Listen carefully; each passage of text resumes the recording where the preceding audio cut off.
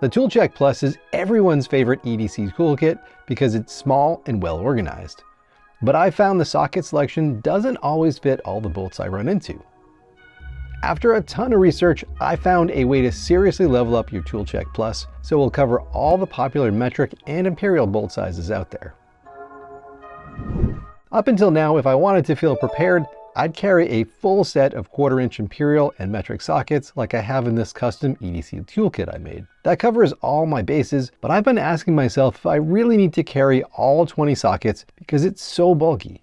So I decided to get to the bottom of this by buying basically all the common things that I would find in the hardware store. So I went to the aisle with all of the nuts and bolts and I bought a bunch of different popular metric sizes and imperial sizes. So I took all of these bolts that I bought and I just mounted them to this 2x3. So I basically have the gauntlet. I have all the popular sizes that you will run into day to day. Now, if you're working on a specific kind of car or machinery, of course you're going to need different bolts, but I just wanted to start with what an everyday person might run into. So I have basically sizes M10, M8, M7, M6, M5, and 3 eighths, 5 sixteenths, and a quarter.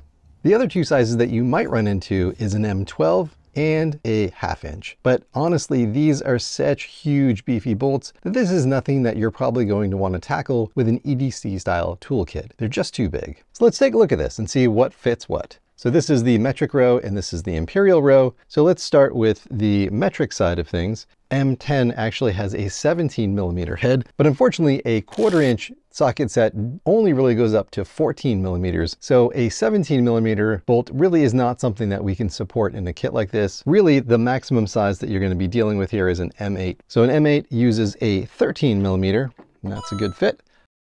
A M7 uses an 11, the M6 bolt uses a 10 millimeter, and the M5 uses an 8 millimeter. On the imperial side of things, we have our 3 eighths, 5 sixteenths, and quarter inch. So the 3 8 uses a 9 sixteenths. The 5 16th uses a 1 half, and the quarter inch uses a 7 sixteenths. All of these other sizes that you see in this kit are really not commonly used. So these are sizes that you probably don't need to carry with you day to day, at least from an EDC perspective. Now we can simplify this even more because there's some overlap between the imperial and metric sizes. This 13 millimeter metric will work perfectly fine on a half inch imperial. You can see there's a little bit more play here, but that's fine.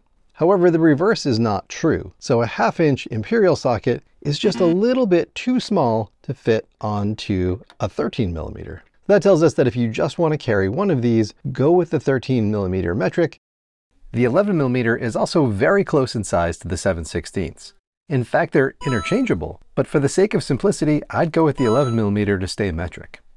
This 9 16th inch socket from the Imperial side of things can actually be fully replaced by a 14 millimeter socket. That works just as well.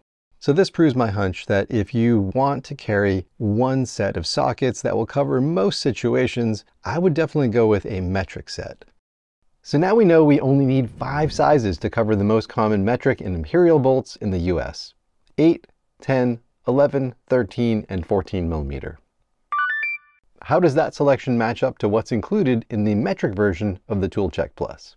It has 5.5 and 6 millimeter sockets that are both pretty tiny and not something I run into, so those will be replaced by more useful sizes. The 7 millimeter isn't super common, but I've seen them used on car interiors, so it's a keeper. The 8 and 10 millimeter are super popular sizes, so it's good they're included. The 11 millimeter size is missing, and that's useful for both M7 and quarter inch bolt sizes, so that needs to be added. 12 millimeter sockets aren't a popular size at the hardware store, but are used in certain vehicles, so that's also a keeper. The 13 millimeter size is great for M8 and 5 16th inch bolts, but it's missing the all-important 14 millimeter size to cover 3 8 inch bolts. So to level up the metric tool check Plus to cover the most common fasteners here in the US, I need to add two sockets, the 11 and 14 millimeter. Fortunately, Wera sells individual quarter inch sockets. The 11mm cost $7 and the 14mm was 9 To make room for the new sockets, I removed the 5.5 and 6mm sizes and shifted the sockets down. The left side with the 7, 8, 10, and 11mm sockets are very tight because the rail ends, so you need to put the 10 in last. On the right side are the 12, 13, and 14 millimeter sockets. With all the sockets in, they're super tight and it's metal on metal. To try and make some wiggle room, I used a heat gun to soften the plastic and push it back a bit and probably gained a millimeter or two. It's kind of risky, so a Dremel might have been a better option. You can definitely get by with color coding and the number printed on each socket, but I'm a little obsessive, so I went ahead and printed out a label with all the new sizes. Now my ToolCheck Plus has a super optimized set of seven sockets that handle all popular metric and imperial bolts and fasteners in the quarter inch range. I've been wanting to get a clear answer on which sockets are essential for years now, and I'm really glad I spent the time to test this out, because now I feel confident in carrying less and knowing I can still cover a lot of ground. Now I'm no expert, so let me know down in the comments what I missed and how I can make this even better. Thanks everyone, till next time.